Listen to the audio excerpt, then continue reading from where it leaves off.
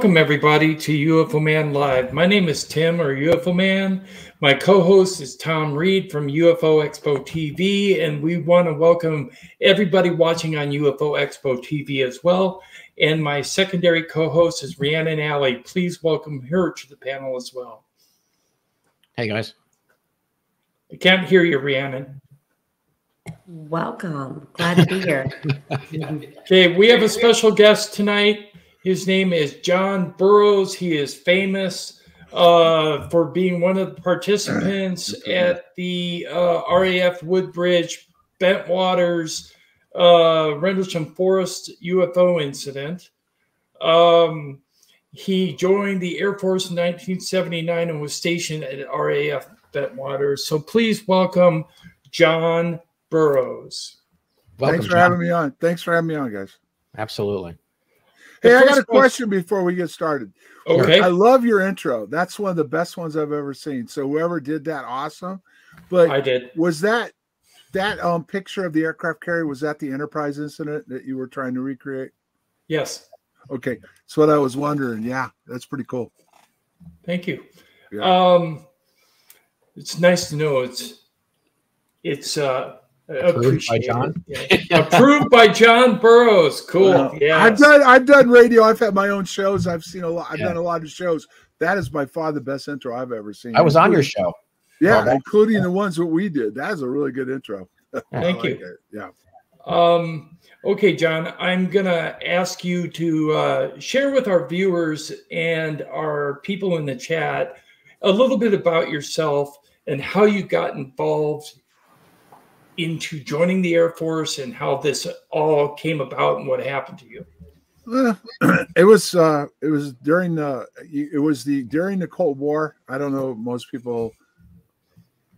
I don't know how old your audience is, but if you go back into that time frame in the 70s and 80s, the economy was bad. There wasn't a lot of jobs. Uh, inflation was high, like it is now.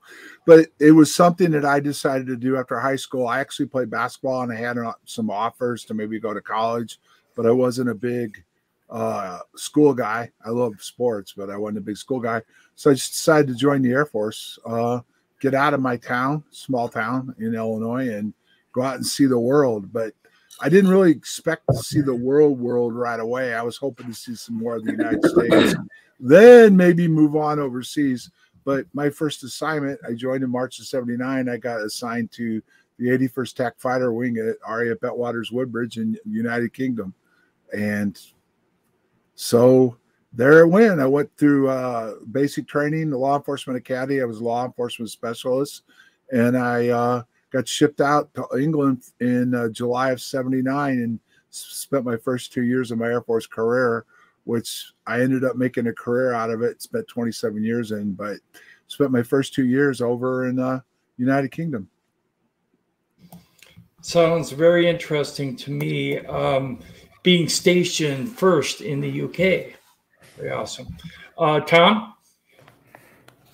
Yeah, as far as what questions or just uh, yeah questions. I'm just happy that he's here. I've known John for a long time, and uh, it's nice to finally uh, you know be able to spend an, un- an uninterrupted hour uh, talking with him because uh, you know I've got a lot of questions and, and things that uh, have always been unclear to me too. You know, but I don't really mm-hmm. like overly pry sometimes. But you know, uh, tonight I've got a lot, a lot of questions. Like uh, for instance, um, you know, if something were, uh, if you were to uh, not talk about this anymore, who do you think would be the most uh, viable or honest um, person to have to speak to on behalf of what happened there? Who do you feel is on the up and up and honest and and who you know that uh, could also uh, shed some light as to what really happened?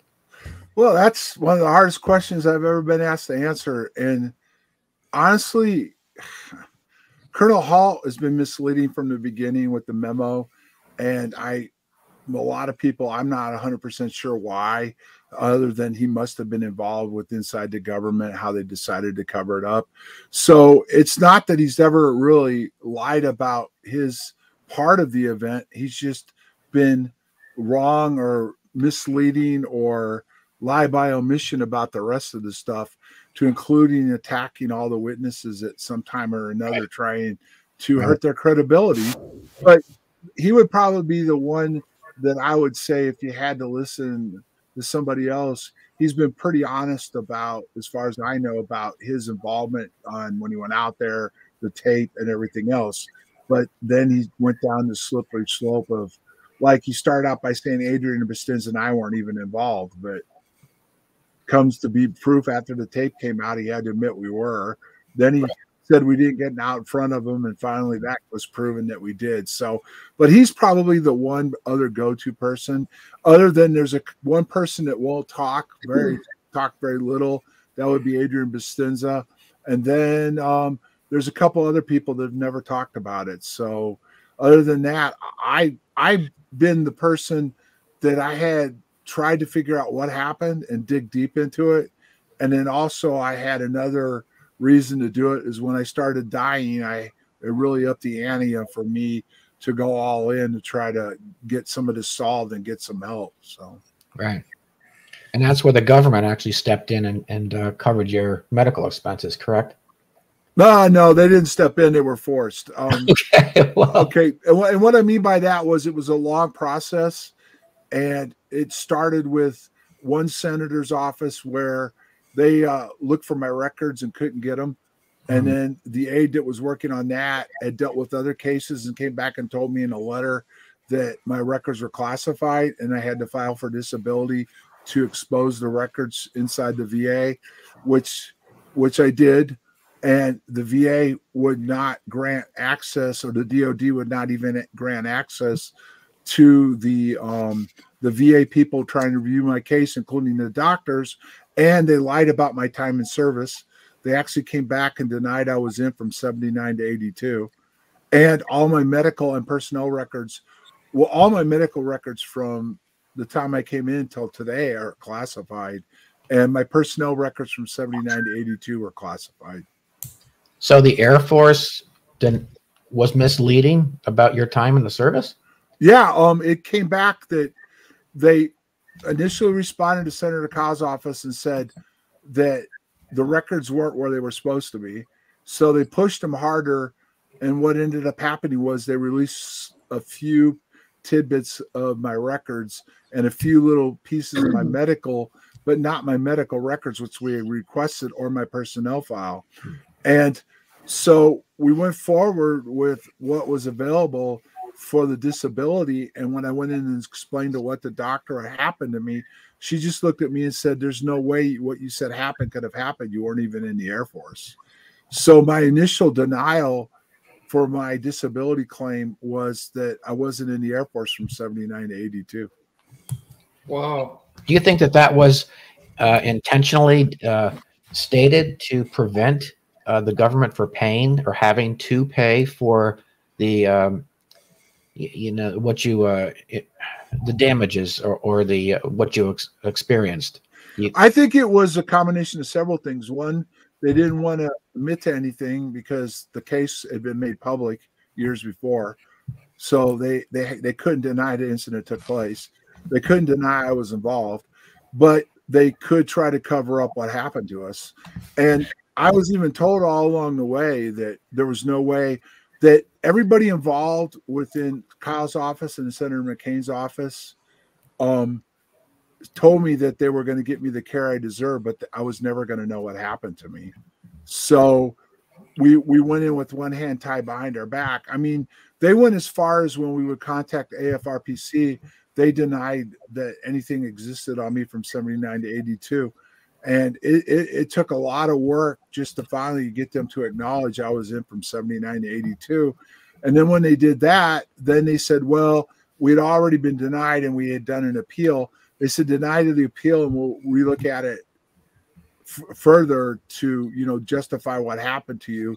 And they ended up, somebody pulled this, the, the plug and came back and said, thank you for denying the appeal and your case is now closed even though the agreement had been made through McCain's office that they would look at everything. So at that point, we went ahead. McCain got personally involved.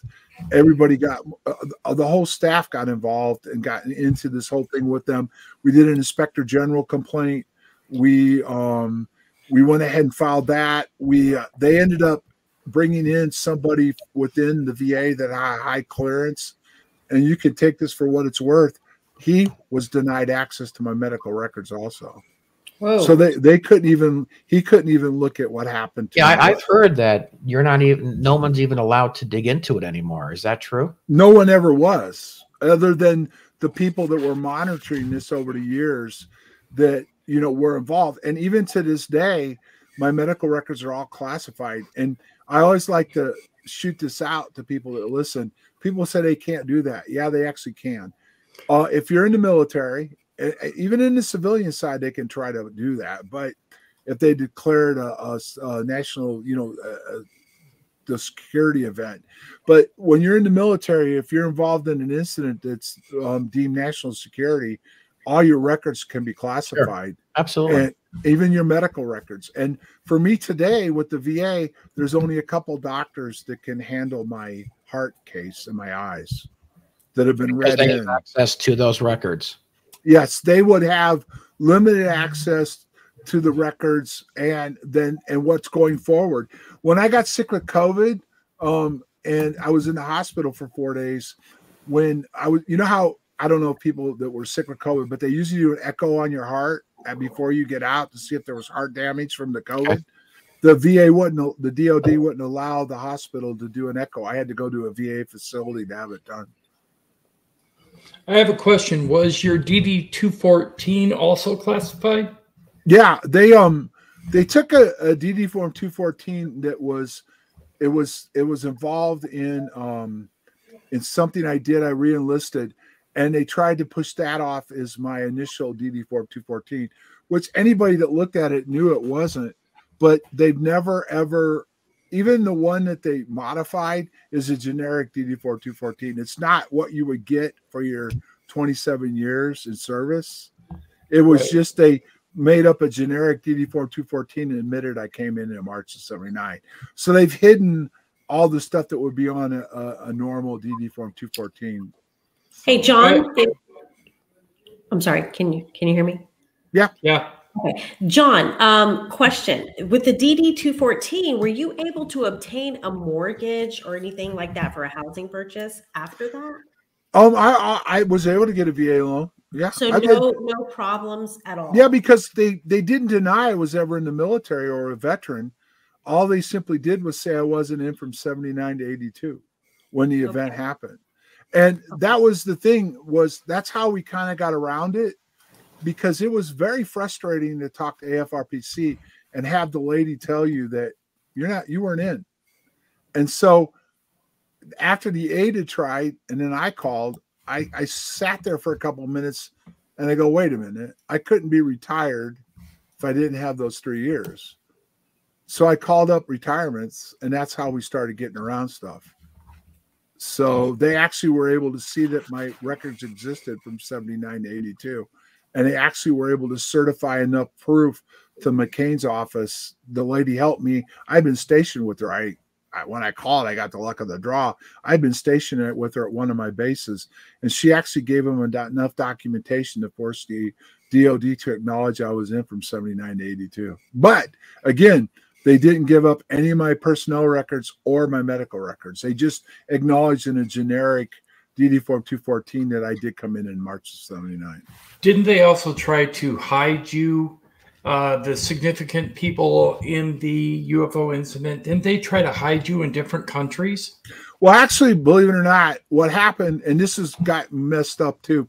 A lot of supposedly, and I say this supposedly because I don't remember it, or do I know the people that left? Other than the shift commander that was involved in night two disappeared right away. I remember she was gone right away. But supposedly some people that were involved got shipped out right away, but the main people didn't. But what happened was when the news of the world story broke, uh, myself, Colonel Halt, and General Williams were all shipped shipped over to PACAF. Uh, I was at Kunsan. Uh, I mean, sorry, Osan. Halt was at Kunsan, and and uh, Williams was PACAF commander. And they put us over there because the press didn't have access to us. So the story broke, CNN got involved, and that that kept the press from following up, and even CNN following up after they uh, uh, put out the four part series that they did about the incident, which was the most highly watched uh, special assignments they ever did. John, I I do I would like to for the viewers out there that don't know much about your story, do you mind just giving us a little bit of information leading into the story about the incident? Sure. Um, I'm sorry. Okay. All right. It, it happened over a three night period. This was the event I was involved with, and Colonel Halt was involved in this, and a lot of other security police were involved. Um, there had been stuff that had happened prior to the event that we found out about over the years. There was stuff that happened after the event. So this wasn't just a one off where, even though it was strange, something would happen three nights in a row anyway. But there was stuff that had been going on over in that area for years prior, I guess, and then years afterwards.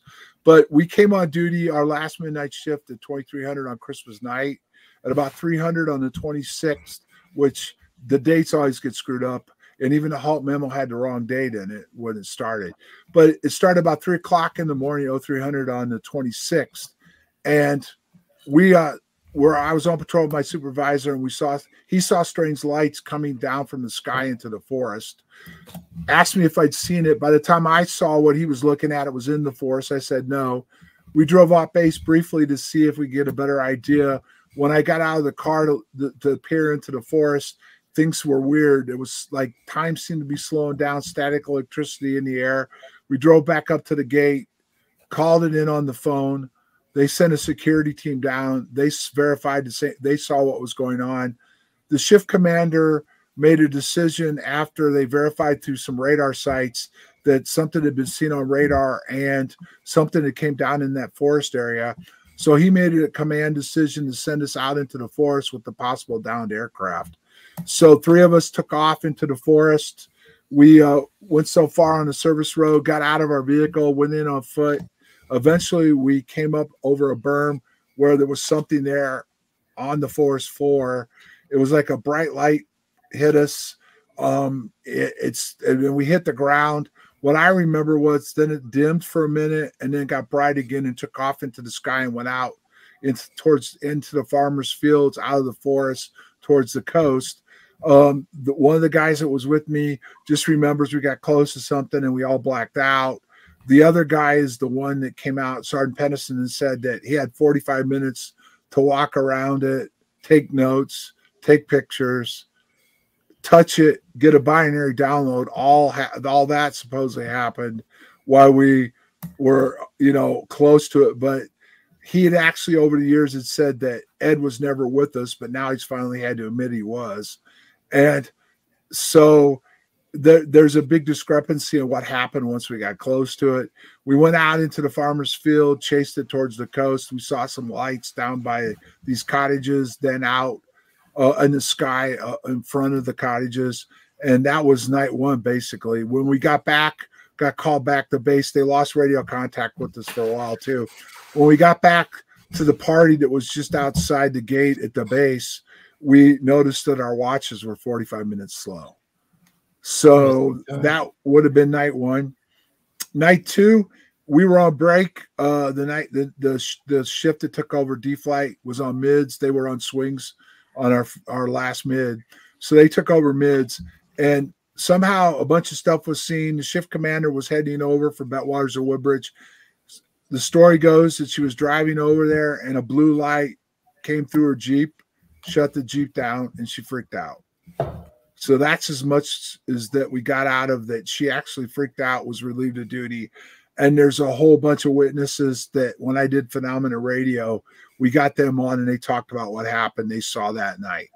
So that was night two. So night three was after I found out something happened on night two, I went ahead and was off, went over to the dorm that day, that morning, uh, that would have been Saturday morning and had, I had some breakfast and went over to the dorm and talked to a couple guys I work with, you know, and I said, Hey, they had something weird happen last night too. So we decided to go out there that night on it for ourselves to um, see if we could figure out maybe what was going on. And when we got out there, that was the night Colonel Halt was out there with his team and his recording that's online you can listen to. And we eventually met up with Colonel Halt. And as I met up with him, and his team, there was a light that was in the distance that came down and was it kind of came towards the team. And he asked me personally, he said, Did you see was that what you saw in night one? And I said, I'm not close enough to say. So he let me and another guy who I didn't know at the time, but I later found out was his name was Adrian Bustinza. And we moved towards it. And as we were going towards it, it came closer to us. And as we were moving towards it, Adrian got went down to the ground and he claims that something knocked him down and held him. And and what happened was I remember getting close to it and then it was gone. And what he said happened was I actually went into this and I disappeared. And and why I went into it and I disappeared, part of it got onto over onto his hand. And so it it dissipated or you know disappeared and as it disappeared i reappeared and so that was the night three incident and those and Halt remembers that too? Halt denied it from the beginning that adrian and i were ever involved. So we've got Halt to go as far now as yeah we were there. Yeah we went in front of him. Yeah he saw us. He didn't he didn't remember seeing anything out of the normal but it could have happened. Yeah so I, I actually spent three days with him. I spent three days with uh Halt in Roswell, and uh, that's why I was asking you because he does seem to be very. Uh, it's kind of like a, about him, you know. Um, the way. Well, and it's fair. He was the colonel, and I mean, I've never had a problem with him being the go-to guy for this. He was a United States colonel out there, but my biggest problem was that he lied about Adrian and I, and he lied about our involvement. Tried to discredit what we what happened to us, what we saw. You think that was due to his position? his rank? Well, there's been all kinds of speculation, but one of the biggest pieces that stood out was they were trying to cover that part up because right. there's other evidence. Because I disappeared. We had an encounter with something that I actually disappeared into. And can you imagine if that was admitted to by the United States Air Force? Yeah, but they would cover it up anyway, right? And buried it just like a health. Well, that's how they buried it, though. I mean, they basically it went quiet. It didn't come out. I think what was it? It happened in '80, and I don't think it hit the news of the world till '83, if I remember right, or '84. So they kept it. It got leaked out. Something happened, and there were people looking at it. But until the memo came out, there was nothing official from the government the United States Air Force admitted it happened. And once the memo got out through Freedom of Information Act, they were in a pickle because they were stuck with a memo from United States Colonel saying that something happened outside an Air Force base over three nights, and he kind of misconstrued right. that, and there were people involved in it. And, so let me ask. You know, so let me ask you this, right? So there are three nights. The, the the service government would not spend the time or money to send people out three different nights if something hadn't happened. I mean, that's a that's a well, no well, yeah, but the first night was what I said was that they thought something crashed. Right. Night two, the shift commander had an interaction going between bases, so no one was sent out into the forest. But you're right. Night three, they sent a team out there because this was, as Halt's own words was, this was getting out of hand.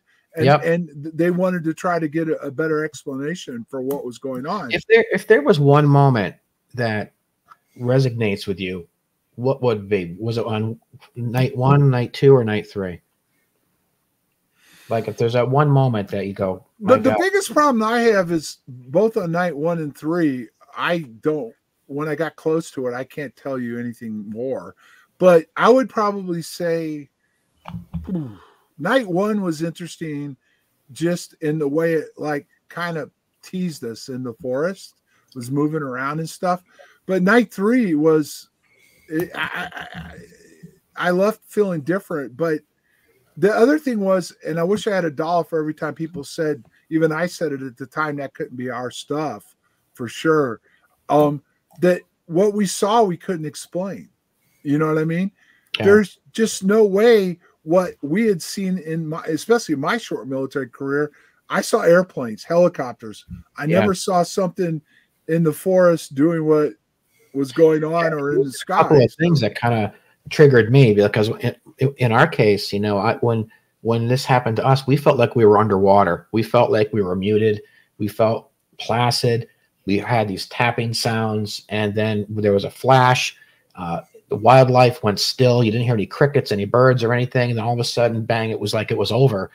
And I was wondering, like you had said that you fell to the ground, and and I'm just wondering if if what took place is uh, as uh, mirrors what happened to us as much as I think it did because I think didn't did this affect the wildlife? Did it affect? Well, yeah. On night one, we could hear the animals in the forest, and Halt on night three on his tape, he says the animals have gone deathly quiet now. So, but actually, I didn't fall down. It was Adrian that went to the ground. So, just so and why did he go to the ground? He said he felt something pushed him down and held him. When like the object, yeah, he That's said that when it came out, it's in the book. He just he wrote up uh three or four pages about what he remembered happening and like the yeah, weaponization identified. But he said that in the book he talks about what happened to us and we went forward. And it's interesting that, as far as I know, there's some questions about at least one other person, but had nothing to do with what I went through. Um, and then what I helped Adrian with. Adrian and I are both the government admitted the incident took place we uh, are getting VA medical care for it and disability for what happened to us. So that is a big deal in the fact that the government, and I always try to clarify this, they eventually admitted I was in the Air Force, that I was involved in the event, that uh, why I was involved in the event, I was injured in the event. But what they've never done is then take it further and say what we were exposed to or what happened to us. So there's nothing in your public military records that would indicate the incident. Um, that well, that's all locked down. And and there's another thing I haven't talked about for a long time. But when I was uh, in the Air Force, I went TDY to Maxwell Air Force Base, and down there, that's where they keep the archives. And you could go into the archives. And when I was down there for the two months, I went in and went in and requested the wing history for December of 1980 and so I had to come back the next day. And actually, I, I requested the wing history for 80, 1980, because they did it by that way. And when they brought it out to me um, the next day, December of 1980 was missing. Convenient. Oh, and the guy went crazy because it was like a GS 14. So I went to the lady. I said, "Where's December?" And she's like, uh, I don't know. And I go, well, there's a problem. You can't tell me. It should be, it should say why it's missing, right? So, so, sir, I, I, I let me get you to my supervisor, my boss. Go have a seat over there. And he came over and sat down and he says, "What can I do for you?" And I said, "Well, explain what happened in December of 1980." He just looked at me and he said, "Um, I can't." And I go, "Why?" And he goes, Well, why do you want to know? I said, I was stationed there and something happened in that time. And he goes, They do this every time. Something like that happens and they pull the file and they don't give us oh, any guidance yeah. on how to answer answer why it's not there. And I looked right. at him, I had to take him for his word. So hey John. But, go ahead. John, can you tell us some of the um, medical problems that you experienced with the close close encounter? Yes, physical and mental. Well, I didn't really have, other than like I said, I have no memory of getting close to it both times. But it never. A lot of people that were involved in this said it affected them mentally. They had issues with it, nightmares and stuff. Um, I, I, over the years, I may have had a few times where I had some weird dreams, but I wasn't like traumatized by the event mentally. But what happened to me was right after the event, I started not feeling well. And in the summer, when I got stationed back in the States, I didn't, I got sick over a weekend when I was home on my days off, had to go to the emergency room at the local hospital. That's what you have to do in the military. You just can't call in sick or whatever. So the doctor, I had to go to the emergency room and he checked me out and he asked me what what the Air Force thought about my heart murmur. And I just looked up at him and I said, I don't know what you're talking about. I don't have heart problems. He says, Yeah, you do. And so he wrote up, he wrote it all up. Um, and uh, I went back to the base on Monday. And when I showed up, when I went into the hospital and I had to go to the early room, you know, to show that the doctor said I was sick and I was off, couldn't work. Um, they actually told me not to work on Monday night. They said there's a doctor coming in from Wright Patterson to look at you on Tuesday. So I went in and saw him on Tuesday, and he checked me over, told me to go home, go home, pack my bags. There'll be orders issued for me to go TDY to Wright Patterson the next day. And so I went up there, and uh, they did a ton of tests, And in the afternoon, he came back. He told me to pack a bag to stay for a while. But in the afternoon, when he came back in, he just said to me, he said, Hey, um, what I thought might be the problem exactly wasn't it. You're not going to have to have immediate surgery right now. He said, but we're going to have to continue to monitor this. And that's one of the big things I think that's classified. And if you go into the book, there's a guy that showed up later that helped me get my settlement. He was a CIA guy by the name of Christopher Green. Anyway, um, he spelled out, and it's in the book about an above top secret exactly what he knew about the event and what injured me and everything else. So he had a really good knowledge of what we were exposed to, what happened to us.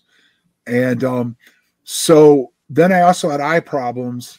And what I found out is I've got eye damage with that was they feel is something to do with lasers, and I've got a hole in my right eye eye wall. So that that's all there that they're constantly monitoring too.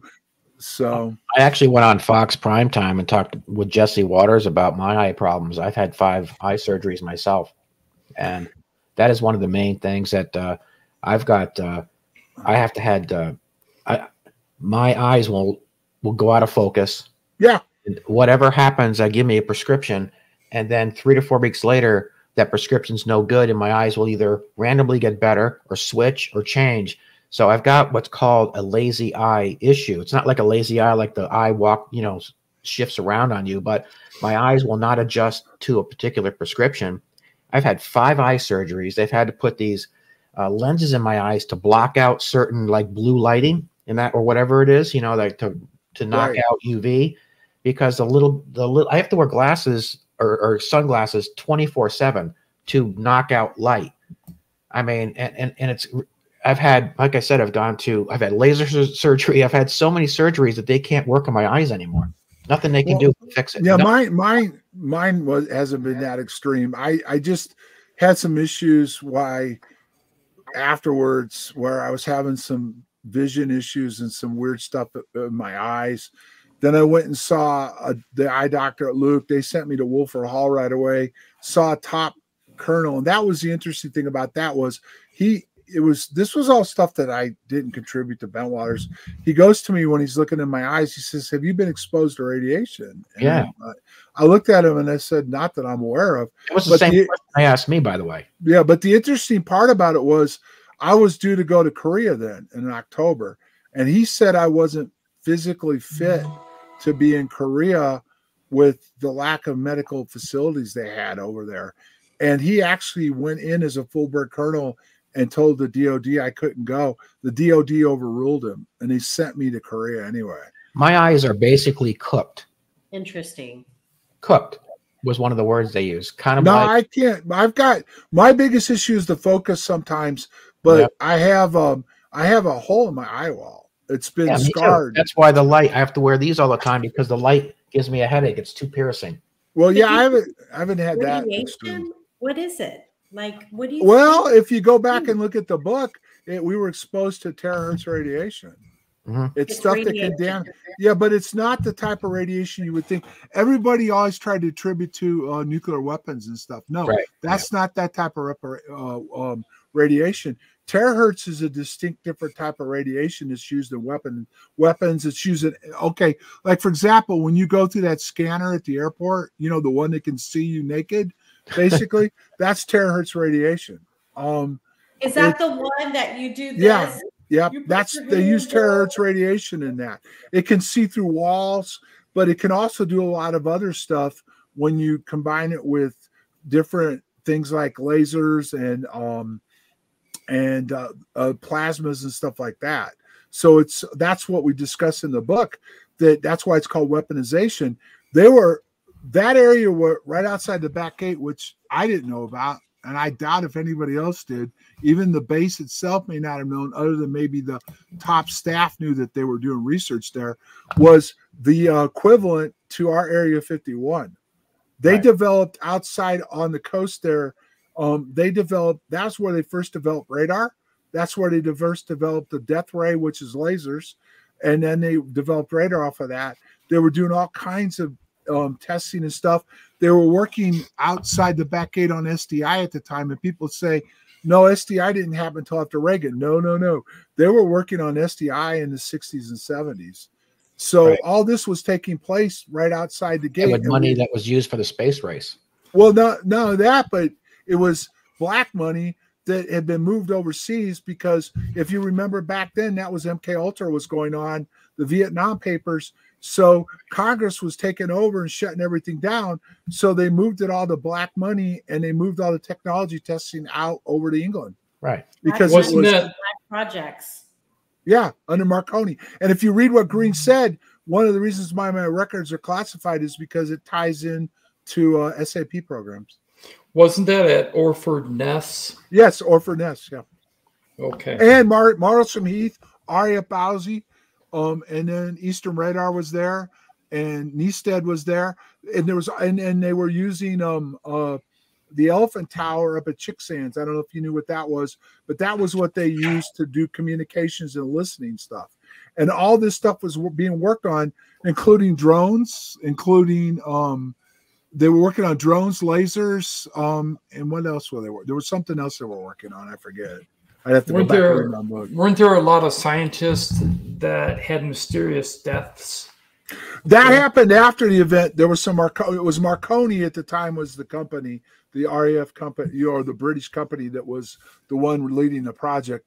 They died mysteriously, yes, after our event. There's like five or six of them, and it was attributed to that the Russians may have knocked them off because we were we were getting ahead of them in that technology. But at one time, Russia was ahead of us with plasma technology, correct? they were working on it. Who knows how far they were ahead of us? I don't. You know, there's been speculation they were. I don't know, but I mean, it was a race for this technology. And if you really go back, that is the beginning of what I don't know if you guys saw the article about a month ago now, where the Joint Chiefs says the warfare is going to change in the next decade. You won't recognize it because of technology. Yeah. But that was the beginning of that right back there and prior that's where they were all working on this. And the kicker to all this, you say, how does this have to do with UFOs? There's a UA, there is a um a phenomenon or anomaly there that is not just there, but in other places in the world, including like Skinwalker, Bradshaw Ranch, and Sedona. And they the, the British government was aware of this and they were studying it. The skinwalker phenomenon. Yeah, it's a, it's a phenomenon. It's it, it's an energy field.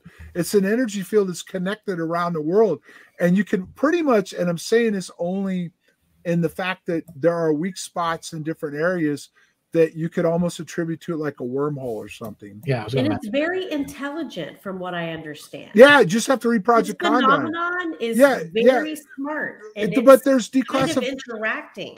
Yeah, but there's declassified documents that no one wants to take seriously from the British government. They did a study on this.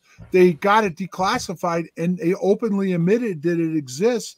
That I've Tom, you saw me do presentations about it from the, the Yeah. actual declassified documents. and my, it's my there. It ties to the space race and all this stuff too. So this resonates with me a lot. And and even you know, and even we had uh, even Skinwalker. I mean, we had uh, Chris. Uh, Chris was on here. I can't remember his last name, and uh, he was talking. He had seen things right in front of him unfold. You And talking so, about Bledsoe? no, no, no, no, not Chris. But he lives not not far from me.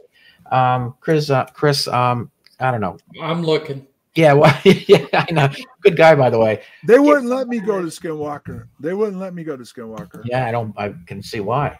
They I tried. I tried to get up there. Nolan, Kelleher, Bigelow, all those guys wouldn't let me go up to Skinwalker. I got But a I question for you. I'm sorry. a man-made, if it's man-made portal, It's both. It's both. or if it's organic. It's both. was Bigelow, It a Bigelow, testing ground, from what I understand. No, Bigelow told the truth when he said they're here among us. It's it's it may not be the whole answer to what UFOs are, but Right. It- I yeah. think the reason why they separated this, there's been different explanations, but there is an unidentified phenomenon Yeah. that they're using, or they call it unidentified, that they know a lot more about it than they're willing to admit. But there's an, a, an energy type phenomenon that very well, and this is where people lose you real fast, that ties to consciousness itself. It could Right. tie to the earth um, the Schumann resonance, you know, the energy field of the earth itself, and it could all be tied into all that. And if you want to go to the divine field and consciousness itself, but it, there is an intelligent phenomenon that's energy based that mm-hmm. they're working on, and, and it involves plasmas and, and stuff, and it's real. And and they've had it in different parts of the world. And the interesting thing is, is when this stuff starts happening, guess what's one of the first things that hap- has to happen before this stuff starts showing itself? Control the media. No, ra- radars. Yeah, well, control the media too. well, no, but they start they start the media. they start working on yeah. in these areas. They have radar sites, and these radar sites start to draw this phenomenon out, and it becomes more prevalent. One thing I'm going to say real quick: the answer to Tom's question is Christopher O'Brien. There you go. And Christopher also mentioned uh, this energy force. Mm-hmm. Okay. And he said it goes back to like 1601. It's documented all the way back to 1601 in, in history about this energy force interacting with cattle, interacting with animals, cattle mutilations, other things. It's interesting happening. enough, but I'm doing a show right now on the UNX network that I'm working with some people, and we're doing a history of it. And that was in the first one we did on, it's on YouTube that we talked about the history and all this stuff. Yeah, yeah, yeah it is. It was way back. Yeah. By the way, I think I think um, Bigelow had said actually um, they're right below our feet. I think was one of the quotes that he had said. I just remember the 60 Minutes piece when he said they're here among us. Yeah. And the, the lady just stared at him and didn't say, yeah, why look in space? They're already here. Yeah. Yeah, exactly. yeah. But she didn't follow up and say, who's they? That's yeah, right. there's just times when you just wonder when you've got a guy of that magnitude saying that, why didn't you ask him yeah. a couple no follow up questions, really? Yeah, yeah. Try to backtrack into that one. Uh, maybe she was so shocked she couldn't speak. That that's a possibility. Uh, one thing I'm going to say is when we interviewed Christopher O'Brien, he said a portal that was 65 feet tall, about 50 to 60 feet wide, opened up, and a, a 40 foot triangle flew through it. Now, what I've always wondered is, is that ours or theirs? Well, see, I can't go into what he said. All I can tell you is this: if this is part of the history of my case, when I met these people, Hal Puthoff, uh, who's who did well. I'll just go into the papers. McCain right. got involved after Kyl retired, and he was on the judiciary or not judiciary but the committee that does funding for weapons weapons and stuff right i forget the name of the committee but he he was a senior senator and as soon as i got my settlement and he was involved with it this group that part of two to the stars but justice mellon Puthoff green and all those guys they did a presentation to his committee and if you remember the 38 declassified dia documents yes. that that were declassified, right? Well, if you go and look at them, they talk about wormholes in it. They talk about interstellar travel to include creating a warp field.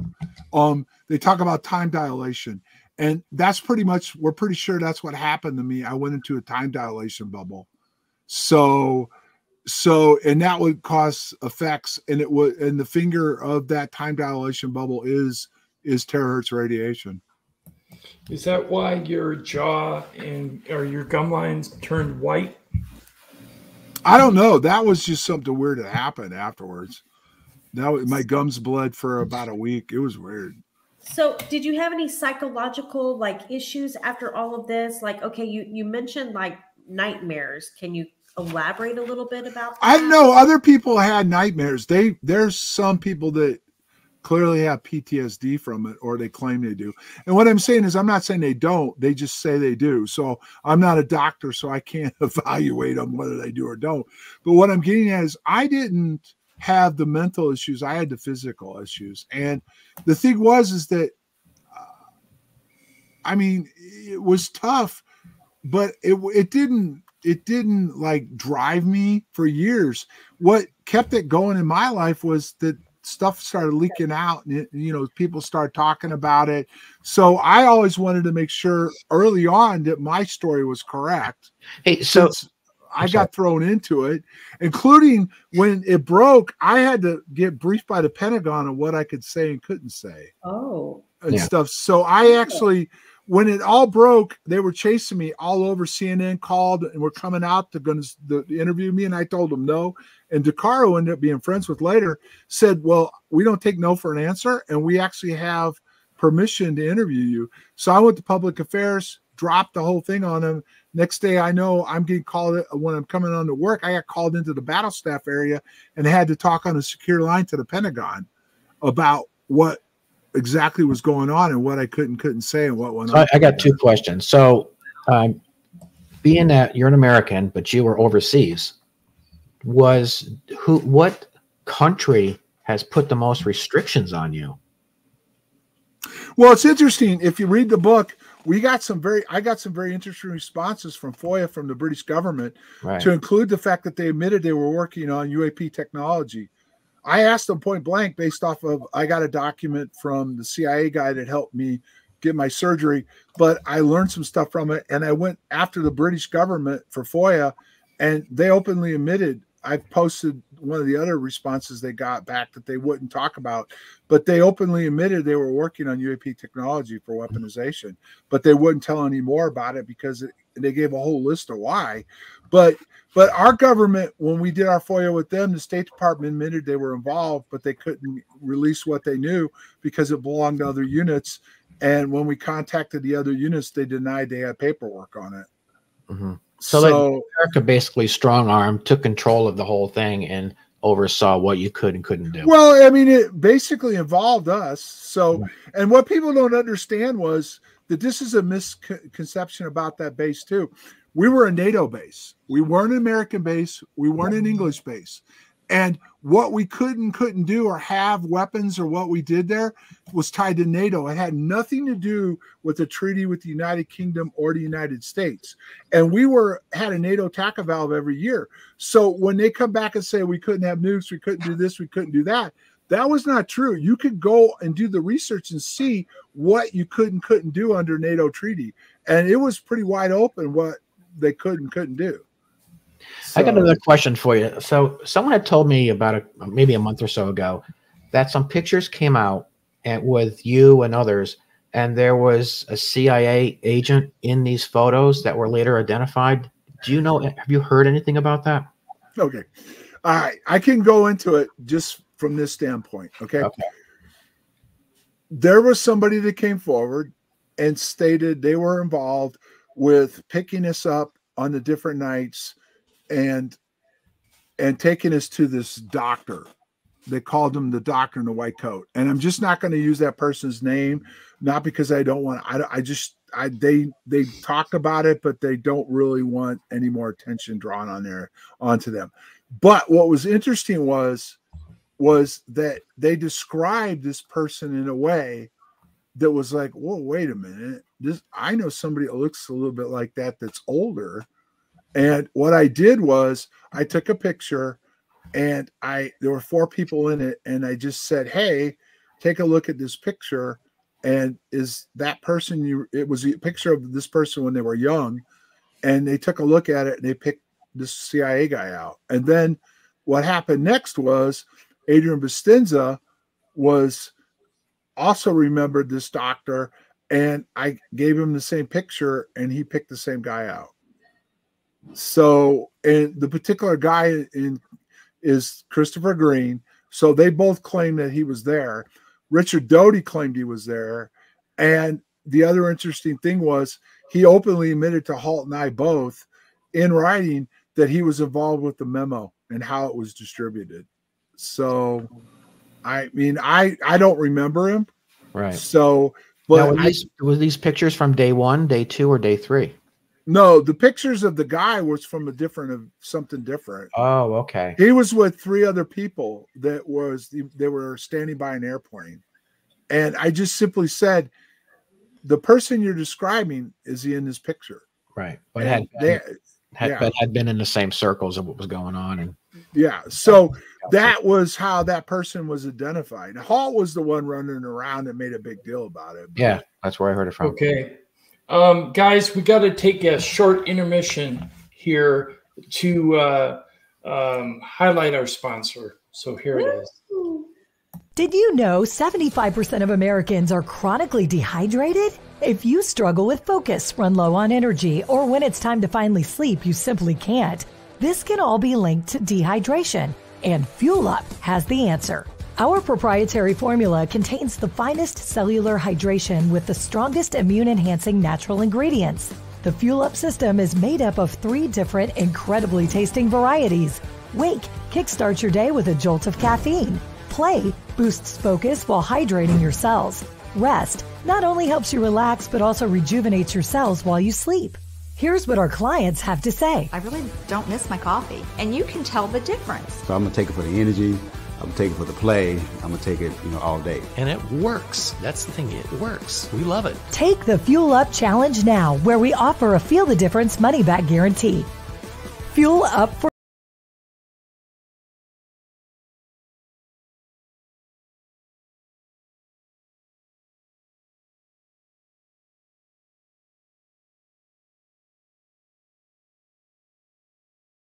This is Race Hobbs from the UnX Network. Join the journey on YouTube at UFO Man. Saturday nights at 9 p.m. Eastern, you can unlock the truth with UFO Man, Tim Dust, Tom Reed, and Rhiannon Alley. Buckle up. It's sure to be a great ride.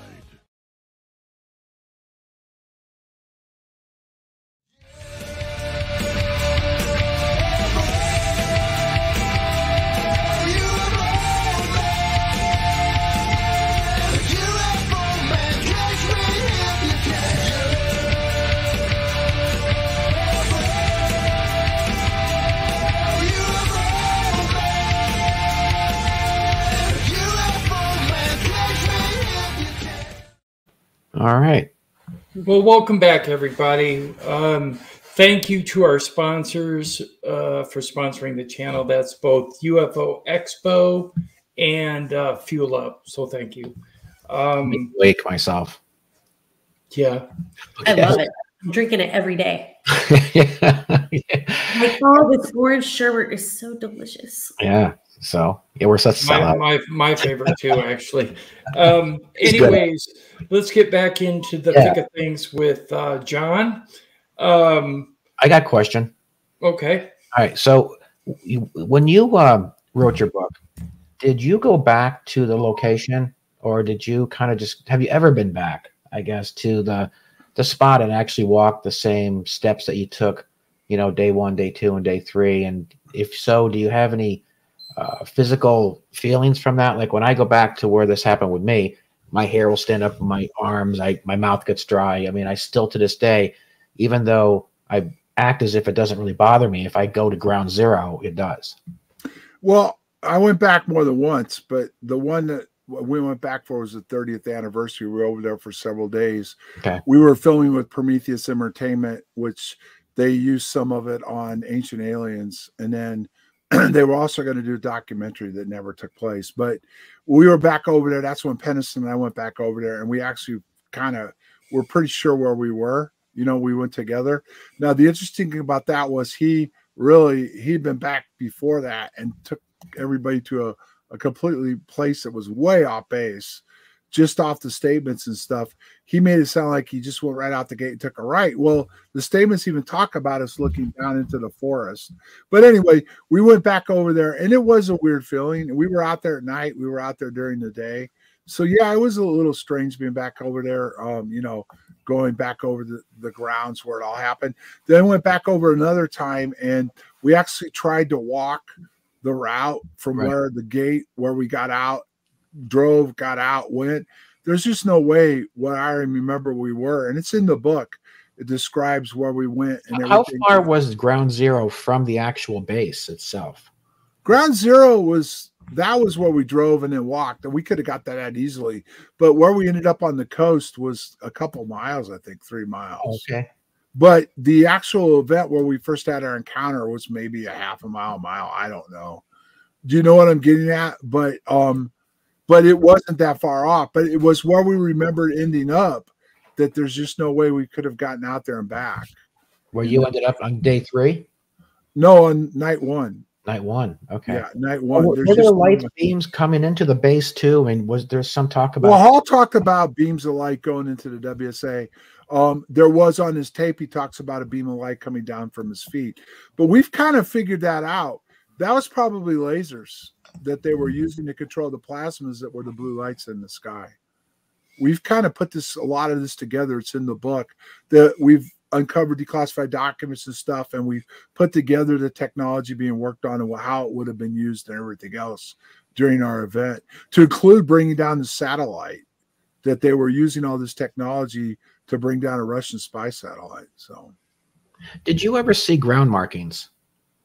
yeah, there were some indentations, but if you do the research on plasmas, that's how they were created. We probably had an interaction with the plasma in the forest. And what's interesting is if you look at it, these plasmas can be affected by radar beams and they can have a life of their own too. And lasers can control them. So they can move around. It says in Condign they can move around. They can be appear to be under intelligent control. They can uh, they can create effects like indentations in the ground. So But- these plasmas are, is it something that's like a round ball type of thing, or is the, It's the kind of like that picture you had in your intro, like you know that orangish thing So or it's not- bluish what's stuff like there that. the path now as to what they say would, would Like be that? uh, Yeah, Yeah. yeah, that's exactly what what I drew, like the orange type of oval object in my Mhm. statement. That looks a lot like it. Yeah, and but there were blue lights in it and around it and stuff. was it as broken up as that, or was it more defined? Um, I'd say it was about like that. I mean, Okay. we're talking forty years, so I'm not going to try to, you know. What about the um the trail that has the uh the depiction? The I believe it's uh do you have a picture of that, Tim. Can you put that up? What The picture of what? what is said to have been the craft from that night? Oh, that was yeah. They did. Different companies have tried to describe it. No, that's not what I remember. No.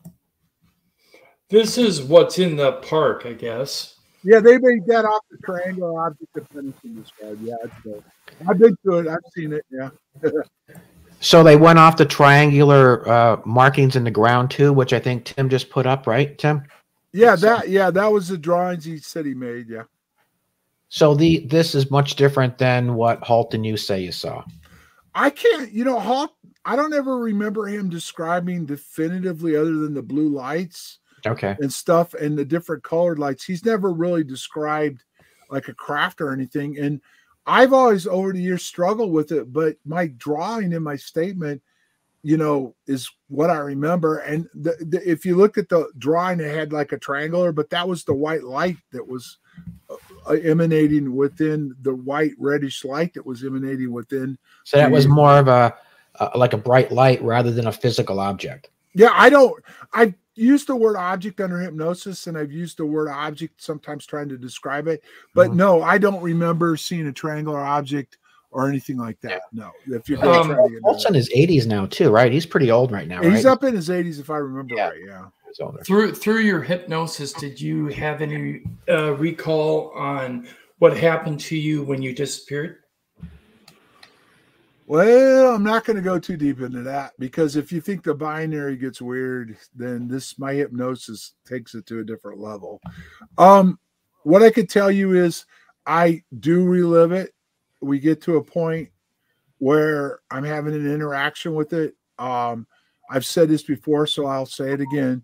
Um, while I was under hypnosis, and I've had government people look at it, and they say I was having an interaction real time under hypnosis with whatever this phenomenon was. Wow. I was going to, you know, Tim, it was funny. I was just thinking about the whole hyp- hypnosis thing and how, just so, John, how easy was it for you to go into hypnosis? Because I think about hypnosis and I'm like, oh, yeah, they can't hypnotize me. That was done. It was done. It's a very strange way it was done both times. But if the hypnosis, the guy that did it was a trained police officer that was involved in this type of stuff. But he put me under by he couldn't put me under first, but he put me under by coming right over me like this and he put me out. It was really weird. It's right on the tape. I'm not going under. He tells me to sit back and he runs his hand across me like this and goes like this. And I went out just like that. So That's amazing. so there might be something to the the pineal gland or whatever that they were able to activate he was able to activate um the second time i went under she did a different technique but she got me to a point where i felt like i was going into a wormhole and it, i was blocked by these blue lights and there was a face there and um i actually was levitating off the couch my body was lifting a little bit off the couch. It was up off the couch a little bit. Wow. You're muted, Tim. Sorry. I said, wow, that might actually be residual from your encounter. You know, residual energy. I've always been very careful to separate hypnosis from what I remember because right. there's a lot of um, controversy when it comes to hypnosis. But I will tell you this the government approached me to do have me be involved in a hypnotic study that they're working on on people that they verified have been involved with UAP incidents. They wanted me to participate in that, and I told them no. So, Did they video? Did you have any video going on while you were going through your hypnosis? Yeah, I've got video of both. Yeah. So you were able to look at it after the fact and go, "Whoa, that." Well, really when I came out of my first hypnosis in 88, everybody in the room was just staring at me with their mouth open with what took place. They were just like, what, uh, you know, and it was Yeah. kind of like, what?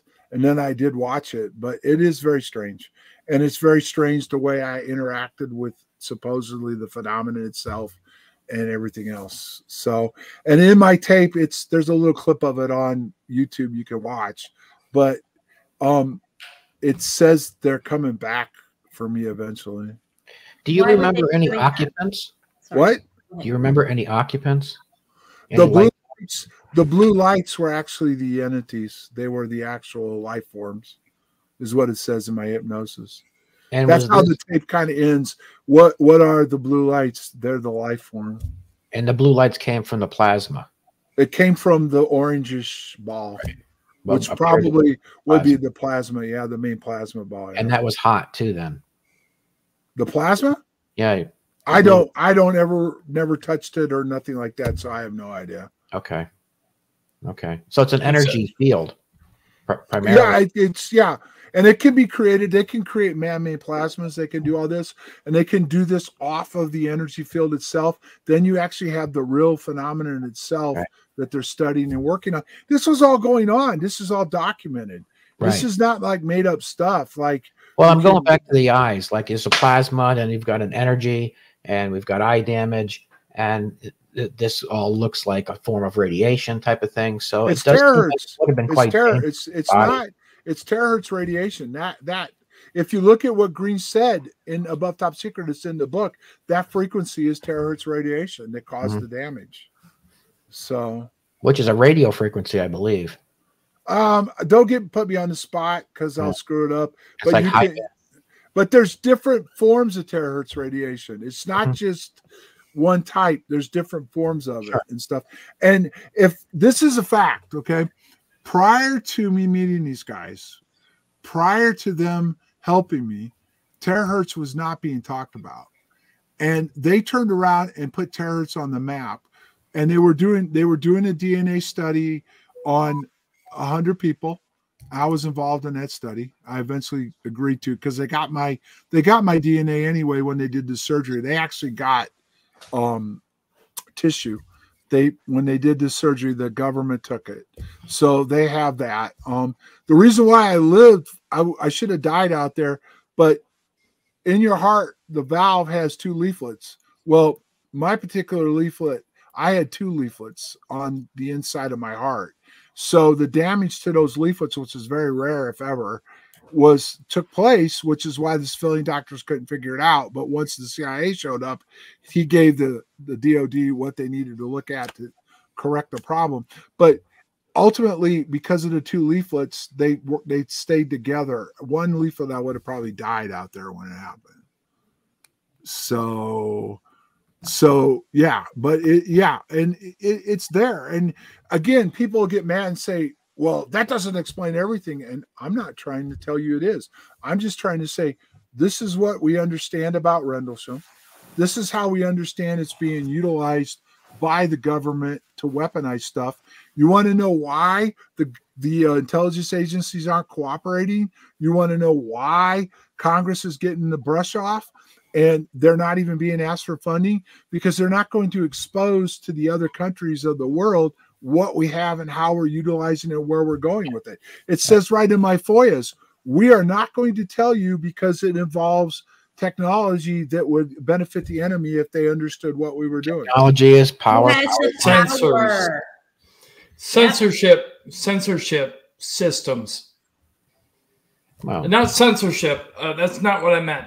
Um, identifying things um, like um, uh, what's the term? Well, Tom? well, you know, having having something that somebody else doesn't have is is you know, technology is is power, and power is money, and power is control. So that's all about control. I mean, yeah, I didn't mean censorship. I meant all right. sensors, yeah, I know what you mean. radar Governing. systems, There's a other government. things. There's a governing in place. Yeah, but if you remember, do you guys remember what Von Braun warned before he died? He I know. said there, will- there will be a UFO event, but it'll be false because all it really ties to is weaponization of space. Hmm. Well, what have we done? We've created the Space Force. It's a new part of the military. That all this stuff is being locked down into the Space Force. The Navy, the Army, the Air Force, they're not getting access to this stuff. No, It's instead we're only- shooting down. We're shooting down balloons with four hundred thousand dollar missiles. Well, that's a story for another day. But, but wait, it goes back. It goes back to Star Wars. Huh? But that's what was going on right It all outside the back gate. Back to Star Wars. That was a prelude to what is to come. It goes back to radar. No, it goes back to the development of EM frequencies and radars and uh, um, lasers and stuff, and and actually identifying there's a phenomenon there that they're they're studying to actually weaponize. But when it all comes down to it, it's all tied up in SAP programs that only a limited amount of people have access to, including Congress. Whether they want to, they act like they're the gods, but they're idiots. And I've I've I've interacted with some of them. They act like they have the right to know. Well, maybe in theory, by in a democracy, they do, but that's not the way the national security state. Yeah, they don't, set have, up. they don't have any business. They have no business just because they had a better campaign and got in office. They And, think, and what people need to understand, do you remember how Harry Reid came out afterwards and said this should be made public, right? Do you know what his first reaction was when he gave money to Bigelow and they started looking into this? His very first reaction was they wanted to lock this all down in an SAP program. That was his Okay. own words. We need to put this in an SAP program. So, question. Um, and maybe you might know. This might be something for the viewers. Why do you think Bigelow sold Skywalker Ranch or Skinwalker? Skinwalker Ranch? Why do you think he sold it? I I probably they got what they needed out of it and they didn't need it anymore. And he did want to be involved with, you know, it once it became a popular place, everybody kind of wanted to go there, you know. So that's a liability issue, and then trying to secure the place and everything else. But I from what I understand, the government's running it now. So Everything's so compartmentalized. You know? Yeah. yeah. Whether Like you agree with it or not, we can make fun of it, but that's the way. But if you want to go back in history, go back to what Eisenhower warned us about. The, he warned us about the actual industrial military complex was going to take over. Kennedy came on board and tried to fight some of that. Whether they killed him or not is up for debate, but he did get killed. And then ever since then, this whole program has been rolling forward with the weaponization of the people. And if you really want to get scared, I'll tell you listeners to go watch a show right now that just came out. It's called The Rabbit Hole with Keith Sutherland. And Yeah. it's on um what is it on Amazon? Um, but it's they're in show four, but they're laying out where AI is going to take us and Yeah. how this is going to happen. And if you look at what Musk and everybody's warned us about, AI Oh, yeah. may take over everything. And this show lays out how it's happening and what's happening to us. And Yeah. it does tie back into some of what's going on with UAPs to include they're working on stealth, they're working on cloaking, they're working on teleportation, they're working on um, um, Yeah. telepathy, they're working They've on all doing that. Time they're travel. working on all this stuff.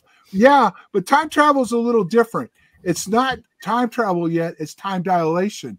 You Right. could go into a bubble and you're still there in that time frame, but you're in a different type of time zone or dilation of time, which is what they can do with these tanks. Let's say you could create a bubble over it and the weapon would go through it Yeah. because it's not in the same In, time in, in theory, we've actually Not in the already time field. traveled. There was that Russian astronaut who didn't he he lost like a, a second or two. Remember that?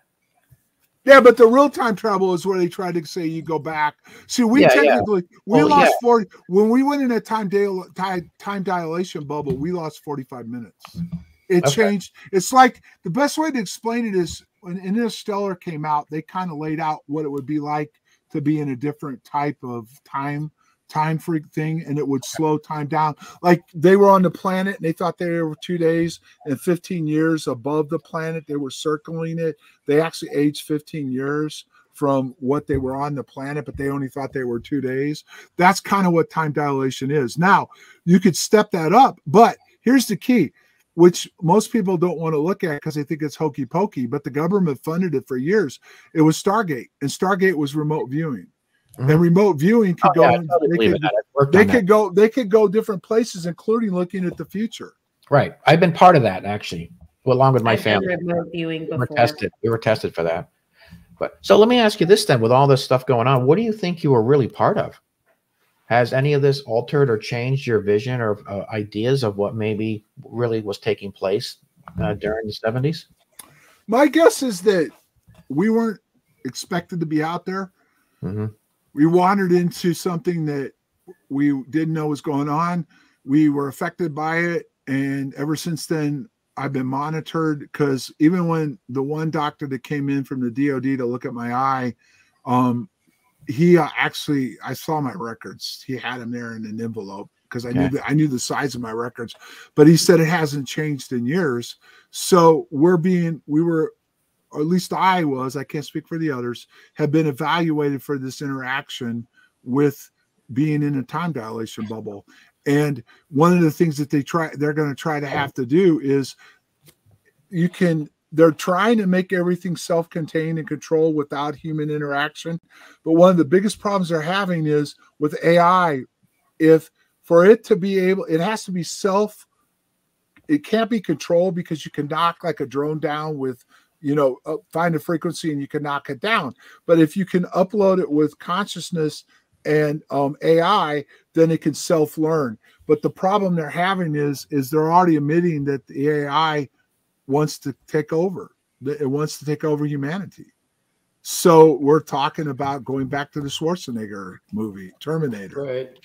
and so Sophia, that one female robot, came out and Right. she was asked, what would she do if she was in control of humanity? And she said, I would kill them all.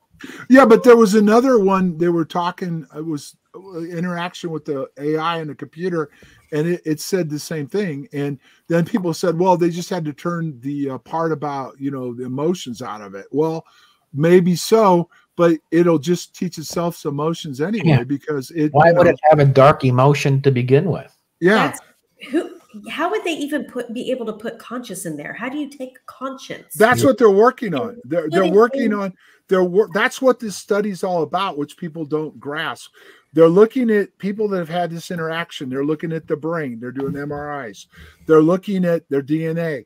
Supposedly, what I got from the people involved, including Garry Nolan, is there's a bloodline out there. There's bloodlines out there that have been affected by by this phenomenon that go back to Christ or before. And these particular bloodlines are creating a better container, but eventually humans will no longer have to be in a human container. They will just be an energy, the consciousness itself. But right now, it's easy to explain. Consciousness comes in, the mind's the, the hard drive, and the DNA is the ones and zeros. So when the consciousness comes into the brain, it actually learns from these bloodlines and evolves itself. But eventually, consciousness will be able, I don't know how long, will probably separate and no longer be attached to the human body. It'll just be its So- own entity. So your soul is That's part of your consciousness. Conscious. That's your So- consciousness. They have been able to, from what I understand, they, meaning whoever, The scientists that are working on the black can program. do soul transfers. They're trying to. I don't know if they've been able to do it or not yet. But supposedly ET. Well, what they're doing, what I, I do know, they've admitted to this. They actually have drones now that that can they can put the AI in it. It can go up in the air and self learn and attack a target, and it's not being controlled by the ground. But the problem is that it's teaching itself stuff that a person couldn't do. So it can penetrate something that a person couldn't actually have it do, but then it could also turn around and turn it on against us. So what they are trying to do is try to interact consciousness in there where it will it will control the AI. So the human consciousness won't allow the AI to take over. That is just so wild to me. Most people don't understand it or believe it, but it's really going on. DARPA's admitted to it. Right. It's like organic and Yeah. not organic. Well, yeah, Yeah, it's a but- combination. I think you know we're but also that's why that's why they were studying the people, including me, their DNA, and they did DNA study on me, and I supposedly my bloodline goes back to before Christ. It just does. What's It- your blood type, if you don't mind me asking? Uh, I'd have to go look at the paperwork, but I'm the rarest haplogroup. You know what a haplogroup is? I am my. uh, I've been identified as the rarest haplogroup, and Nolan himself told me that my bloodline goes back.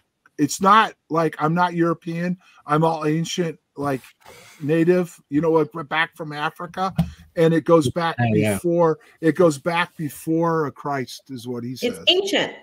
Yeah. And they said that what happens is people are getting together from these bloodlines and forming a new uh, the people the they're actually the, a DNA line or a bloodline. they're they're creating a new blood DNA line. Yeah, Blood more and- advanced blood D- DNA by getting two types of DNA together that create the new line. Which then, when the see, here's the key that people, if you just want to understand something simple, stop and wonder, how are you who you are? Your body is is is is at some point the mind is has a consciousness, and where does that consciousness come from? Right? That's the magic Yeah. question. And that's Because what your brain. that's what the supposed to be the motor. yeah. Correct. And when you yeah, it no, it's like the hard drive. Like I said, just look at it as consciousness is you know The program. Is yeah, it comes into the brain, which is the hard drive. The DNA is the ones and zeros that you know Engine. that actually feeds the consciousness that upgrades the consciousness. So it's it's they're looking at this stuff and imagine see Congress they can't even wrap their heads around AI. There, there there's a big argument going on right now. Well, the top people in the fields and like Musk and those guys are saying we got to put a hold on this, but there are other people saying, well, if we stop, the Chinese won't, the Russians won't, and they'll get ahead of us and they're going to dominate us, which goes right back to what my book talked about weaponization. AI is everything about the future of humanity. And that's why I say, watch this rabbit hole. The mm-hmm. writer must be tapped into these think tanks because he is laying this out perfectly. And if you want to get a better grasp, go online, look for a four part series Chuck DeCaro did called Soft War. Okay. It was done 11 years ago, and he did it for Department of Defense. And it talks about what they're doing to manipulate humanity through everything TV and everything else. And, and I'm friends with Chuck. And back then I said, when he showed it to me, I said, Chuck, they could turn it on us. He goes, No, I don't think our government would use it against their own people. Really? But it's kind of starting to look that way. So Yeah. We already got. We already have uh, uh, volunteers um, working in certain projects where they actually have a chip embedded in their brain, where yeah, did you ever see the show Cyber Command? It was only on for a year, but it was too far ahead of its time. It was about a guy that had a chip put in to his mind, it could draw into every database in the world simultaneously and solve things and make things work. Yeah, it was uh, called Rich- Cyber Command. The article I saw was how to learn quicker, how you could actually plug yourself in through like a Bluetooth into a computer. They put a chip in your head, and all of a sudden, bang, you, you've got yourself. Well, you know those helmets that they use on this, the, the F 35? Yeah. That actually does that. That's tied to the brain itself. It modulates the mind of the pilot and he controls the aircraft with the, it's like the- controlling a robotic arm. I thought. Yeah, but they're doing that with the planes being flown by the helmet through the mind of the pilot. It's not it's not fly by wire anymore. I was actually part of a test where they had a like a uh, like an air hockey table, if you will, smaller, and they amplified my brain waves, and I was able to control this ping pong ball going through loops and everything over this air hockey table. It was pretty crazy. I did that in like 2012, maybe 2013. Yeah, well, I won't tell you what I can do. well, oh, Come let's- let's on, to tell us your secrets. You know, here we are. Let's let it. they've let it had out. me working. Let They've it had they've had me working on meditation through two ancient meditations that that regulate the mind and the frequency. What and kind it's, is that? it's uh, I can tell you this much. It's called Kipla Yoga and Vispa meditation, and they're both ancient. It's stuff you can find little bits of it on YouTube, but they personally, the government personally came to me and gave me the stuff to start working on it. This would have been what five, six years ago. Thanks Through- for that info.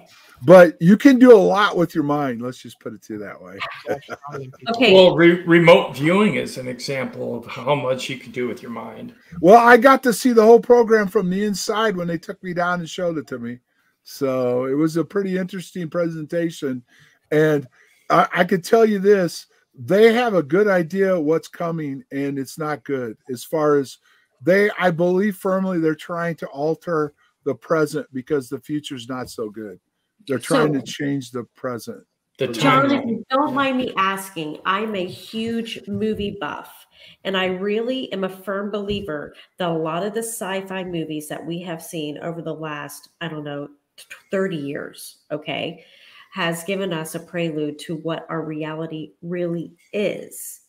If Well- there's one movie that you could suggest that really could be re- our reality, what movie would that be? Uh, well, up until this series has come out now, I'd say Interstellar is really pretty intriguing. You know, as far as and Contact, the movie Contact itself, because because most people didn't grasp what Contact what what Sagan was warning us back when he did Contact, and I've actually got it on my page, my Facebook page. He Jody actually he actually had them test these scientists test the ability to create the wormhole that Foster went through with the equipment they did, and they actually in a lab were able to create the wormhole effect that they showed in the movie. field. Yeah, Yeah. the, the the wormhole effect, but Yeah. they used the machine. But Mhm. but in reality, he was warning us back then about where we were going technology wise, and then Interstellar has shown where we probably will go. Humanity will end up possibly with environment and everything and and everything else. But this new show, Rabbit Hole, watch it, man. It's unbelievable. It anyone in is that? Thank you. unbelievable. Who, who's Yeah. in there?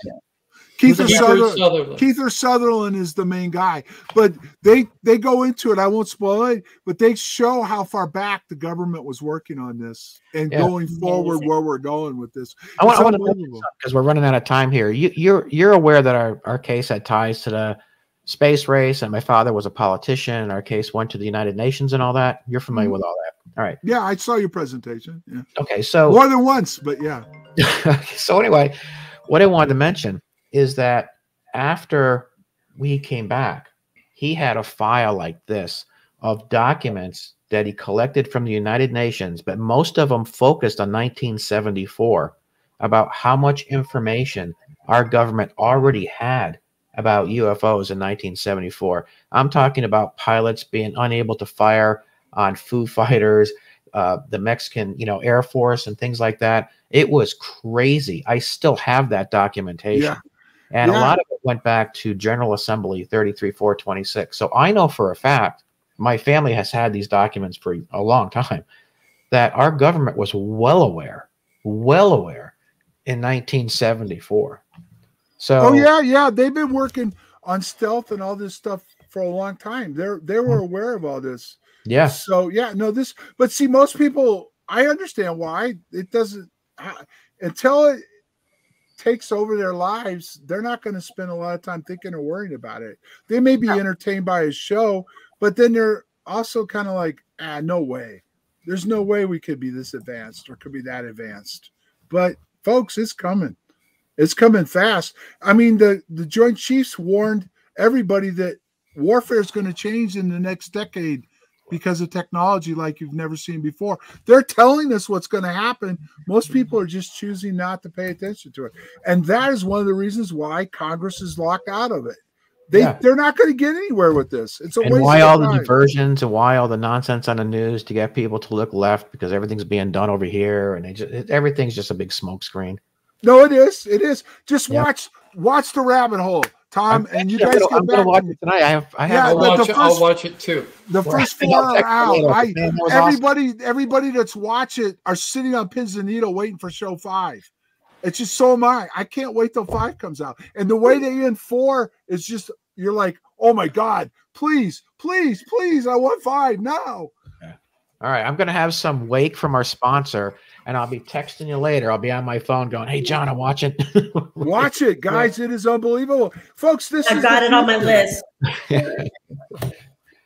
Let's let's go around the panel and uh, oh, John's have muted. Last doesn't comments. John's muted. John, you're muted. Okay, now I'm not. I don't know what happened. Yeah. Okay, let's go around the panel and make last comments. Tom.